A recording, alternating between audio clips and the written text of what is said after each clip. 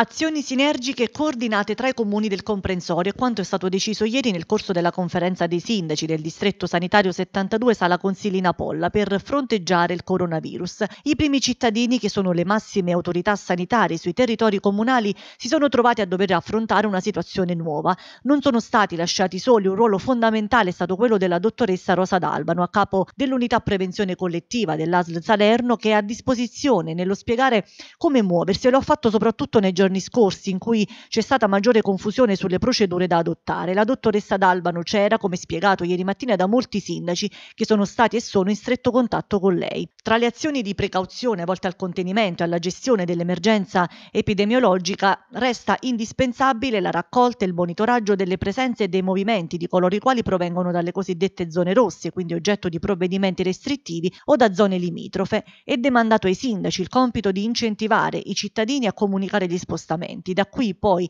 si assumeranno le decisioni sul da farsi a seconda della provenienza dei soggetti, quindi si può consigliare la quarantena volontaria o attivare il protocollo che coinvolgerà l'ASL, come spiega nel dettaglio la dottoressa Rosa D'Albano. Zone chiamate rosse, che sono 11 comuni individuati con decreto legge numero 6 del 23 3 febbraio 2020, tutte le persone che rientrano solo ed esclusivamente da queste, da queste zone è disposta attraverso la notizia che arriva al Dipartimento di Prevenzione, il Dipartimento di Prevenzione invia poi all'autorità sanitaria locale, viene disposta la quarantena obbligatoria, 14 giorni di osservazione con controllo della temperatura almeno due volte al giorno e all'insorgere minimo di, una, di, un sindrome, febbre, tosse